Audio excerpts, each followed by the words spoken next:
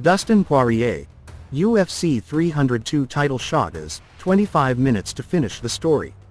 It's all been leading to this moment for Dustin Poirier at UFC 302, and he has no doubt he will achieve his final career accomplishment by taking Islam Makhachev's lightweight title.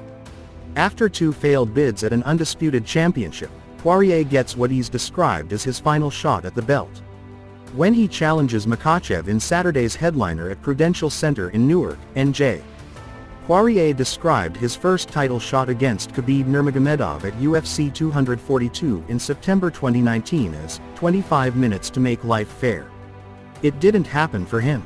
In his second chance against Charles Oliveira at UFC 269 in December 2021, it was 25 minutes for eternity.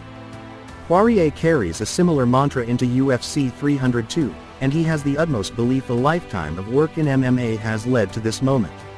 25 minutes to finish the story. That's what this is, Poirier told MMA Junkie on Wednesday. It's going to be incredible to finish the story this way. Undisputed. Pound for pound no. 1. Dreams can come true, and I'm going to show you Saturday. For Poirier to pull off the upset, he's going to have to overcome a similar hurdle to what has plagued him in his career. Makhachev is the number one pound-for-pound fighter in the world according to the official UFC rankings, and he said he thinks he will beat Poirier, easy, on fight night. Poirier knows all the elements are going against him in this moment, but he said he's crossed every T and dotted every I to ensure that this time, he leaves with gold around his waist. I've had trouble with this style of fights my whole career, Poirier said. It's definitely a tough mountain to climb for me, it's a hard challenge.